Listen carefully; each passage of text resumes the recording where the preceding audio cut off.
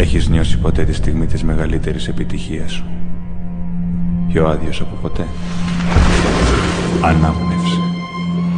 Δύο δεύτερα κάτω και μπαίνεις τελικό. Εύκολο το έχεις. Σε λίγο θα χαθείς στο βυθό. Πόσα χρόνια κολυμπάς, κάπου πρέπει να πάει όλο αυτό. Ξέρεις με ποιο τρόπο πάει παραπέρα, πατέρα. Και αυτό είναι κάτι στο οποίο δεν θέλω να πω. Ναι, αλλά βλέπεις ότι έχουμε ανάγκες. Τον βυθό της μνήμης σου.